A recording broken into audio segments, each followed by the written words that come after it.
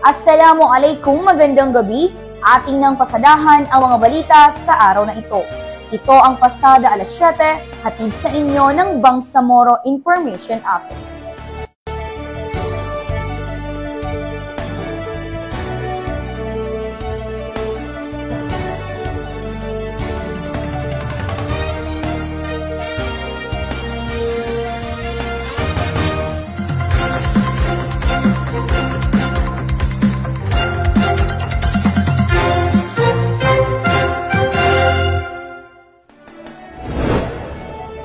Itinuturing ng Ministry of Health na matagumpay ang isinagawang bayanihan bakunahan special vaccination days sa iba't ibang probinsya ng BARMM.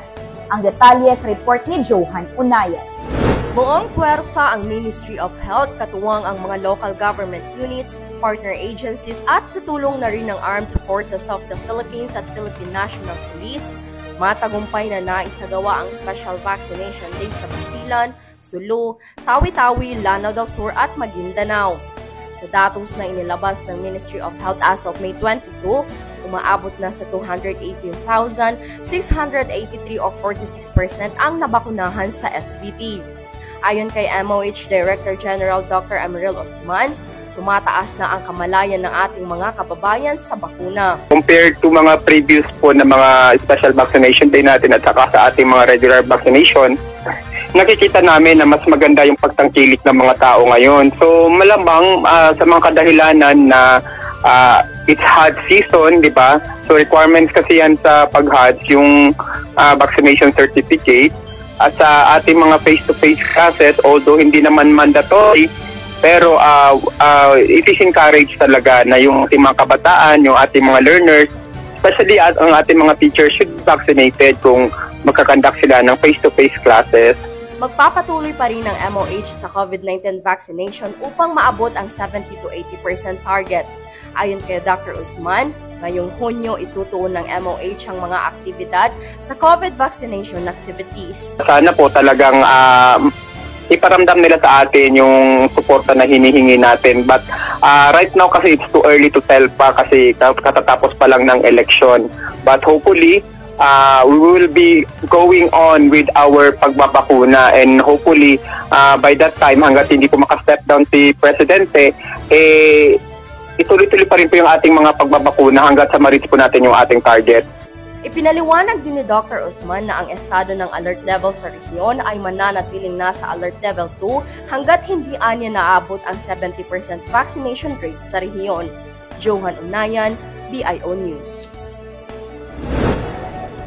Bilang pagbibigay halaga sa pagbangon ng ating mga kababayan, Patuloy ang mga aktibidad ng Marawi Rehabilitation Program ng Bangsamoro Autonomous Region and Muslim Mindanao para sa mga biktima ng Marawi Siege. Isa na rito ang proyektong mobile healthcare na may kasamang land cadaver transport at mobile health clinics na naglalayong makapag, makapagbigay ng direct access sa healthcare services para sa mga IDPs. Nagsasagawa din ng validation para sa mga seed capital beneficiaries kung saan ang mga kwalipikadong benepisyaryo ay makakatanggap ng 15,000 pesos na seed capital. Maaring mag-apply ang home-based IDPs na may buwan ng kita na hindi hihigit ng 5,000 piso at kabilang sa sektor na solo parents, PWDs, lactating mothers, guardians of orphans, single female-headed households, ulama na hindi sapat ang buwan ng kita, mga returning OFWs, may medical condition at phase out employees ng ARMM to BARM transition. Para sa mga katanungan, maaaring mag-text sa hotline number 0912-441-0991. Sa mga nais mag-apply, magtungo lamang sa opisina ng BARMM MRP PMO sa second floor ng Hannes or Haynes Building, Pangaw, Sadok, Marawi City para mag-apply. Samantala, nagsagawa din ng Forum on Transitional Justice and Reconciliation ang Ministry of Public Order and Safety sa mga biktima ng Marawi Siege noong May 3. Layo ng forum na talakayin ang Transitional Justice and Reconciliation Principles kaunay sa pagkapasa ng Marawi Siege Victims Compensation Act of 2022 o ang RA 11696 Naging lugar din ito upang talakayin ang mga concerns ng mga IDPs na nanatiling limang taon na nakatira sa temporary shelters. Ang aktibidad na ito ay isa sa peace building efforts ng MPOS, katuwang ang Kalimudan Foundation Incorporated. Patuloy din ang pagtutulungan ng BARMM Government, LGU at Task Force Bangon Marawi para sa tuluyang pagbangon ng mga komunidad sa Marawi City at mga kalapit lugar. Ngayong araw, ginugunita ang ikalimang taong anibersaryo ng Marawi Siege. Sumailalim sa apat na araw na training workshop on policy research, formulation, and procedures ang Bangsamoro Women Commission Commissioners mula sa limang probinsya ng BARMM. Layunin nitong bumuo ng gender-responsive policies, resolutions, at guidelines na tutugon sa mas maayos ng mga programang nauugnay sa gender and development sa Bangsamoro Region. Ang nasabing aktibidad ay pinangunahan ng Policy Research and Legal Services ng Bangsamoro Transition Authority o BTA Parliament. Inaasahang sa pamamagitan nito, mas matututukan ang pagpapatupad ng mga mekanismo na maaaring irekomenda sa iba't ibang local government units sa rehiyon. Samantala, apat na metric tons ng bangus ang nakuha ng mga mangingisda bilang bahagi ng pagdiriwang ng National Farmers at Fisher Folks Month ngayong taon. Noong May 15, isinagawa ang ikapitong Harvest Festival sa panguna ng Ministry of Agriculture, Fisheries and Agrarian Reform o MAFAR BARMM. Layon nitong kilalanin ang pagsisikap ng mga local farmers at fisher folks na magkaroon ng food security at sustainability sa rehiyon. Ayon sa MAFAR, mas mataas ang produksyon at ani ngayong taon kumpara noong February 5, 2022 na mayroon lamang 3 metric tons. Lubos naman ang pasasalamat ng mga mangingisda sa Bangsamoro Government sa mga interbensyon na ipinapaabot ng mga ito para mapataas ang kanilang ani at kita. Ang pagdiriwan ngayong taon ay nakaangkla sa temang modernisasyon at industrialisasyon tungo sa masaganang ani at mataas na kita.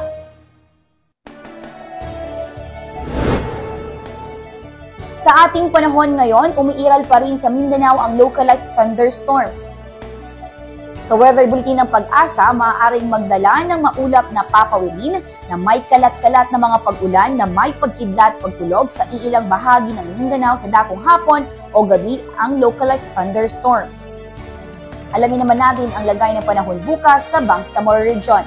Maglalaro sa 24 hanggang sa 32 degrees Celsius ang temperatura sa Cotabato City at 60% ang tsansa ng pag-ulan. Nasa 60% ang chance of rain sa Marawi City at maglalaro sa 21 to 29 degrees Celsius ang lagay ng temperatura. Sa Lamitan City, maglalaro sa 24 hanggang sa 31 degrees Celsius ang temperatura at 80% ang chance of rain. Sa mga probinsya naman, nasa 18 to 27 degrees Celsius po ang lagay ng temperatura sa Lano del Sur at 90% na uulan sa bahaging yan ng rehiyon. Nasa 24 to 31 degrees Celsius ang temperatura sa Basilan at 50% ang chance of rain. 25 to 30 degrees Celsius naman sa Sulu at nasa 50% ang chance ng pag-ulan. 24 hanggang sa 28 degrees Celsius naman sa Tawi-Tawi at 30% ang chance of rain. Sa Maguindanao, nasa 24 to 34 degrees Celsius ang temperatura at may 60% na chance of rain. At sa probinsya ng North Cotabato ay nasa 23 hanggang sa 32 degrees Celsius at 80% ang tsansa ng pag-ulan. Sisikat ang araw bukas ng 5.25 ng umaga at tulubong naman ng 5.54 ng hapon.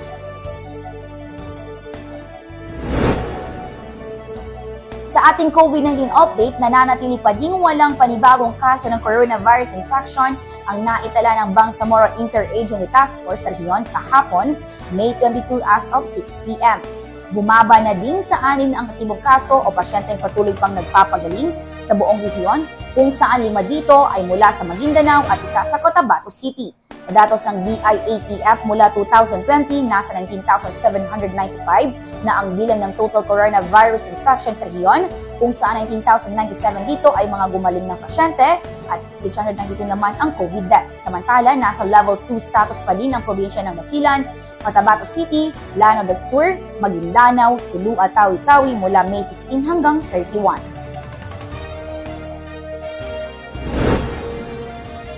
At yan ang pasada ng mga balita sa Pasada alas 7.